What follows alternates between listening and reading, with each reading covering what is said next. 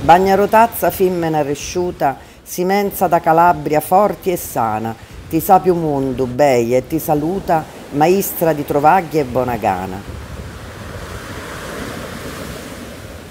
Percorrendo il corso di Bagnara si incontra il monumento alle bagnarote, donne che trasportavano merci caricate in grandi ceste poste sulle loro teste.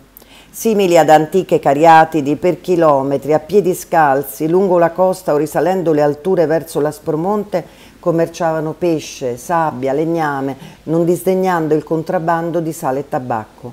Questa durissima attività iniziò con il terremoto del 1783, quando le donne divennero parte integrante della ricostruzione e continuò fino agli anni 70 del Novecento. Spesso sfruttato dal caporalato, il durissimo lavoro delle bagnarote ha rappresentato per secoli una fonte di sussistenza e anche un modo per garantire le comunicazioni, una tradizione tutta femminile che testimonia la forza fisica, il coraggio e la determinazione delle donne di Calabria. Tu lavi, tu ripezzi, tu carrii, tu runi vita ogni anno innocenti, tu porti pane a tutti e intrallazzii per figli, pura carni e sacramenti.